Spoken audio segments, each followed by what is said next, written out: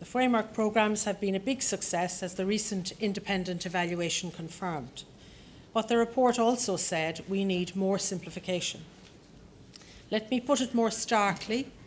We need to replace Kafka with common sense. We need to send red tape to the shredder.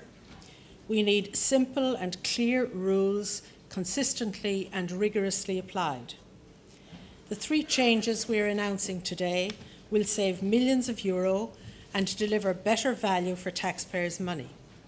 They will feed into better research results and lead to new products and services.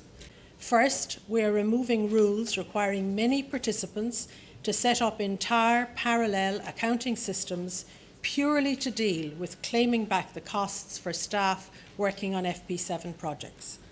They will now be able to use their usual accounting practices and systems and make simpler claims. And they will no longer need to pay thousands of euro to provide certificates setting out how they calculate staff costs. Second, we want more SMEs taking part. We've made good progress. SMEs now account for 14.7% of participants in the parts of the programme for which they are eligible. The third thing we are doing today is setting up a steering group at Director General level to ensure consistency. None of these changes will jeopardise control of EU funds. Indeed, it has always been a principle in the Court of Auditors, where I spent 10 years, that simpler rules are better respected and abuses easier to detect. Those changes would in turn allow more radical simplification in the successor to the current framework programme post 2013.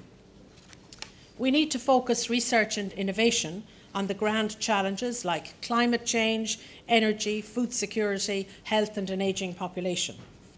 Our funding must help give Europe an edge in the global markets of tomorrow we must strive to create the maximum number of jobs.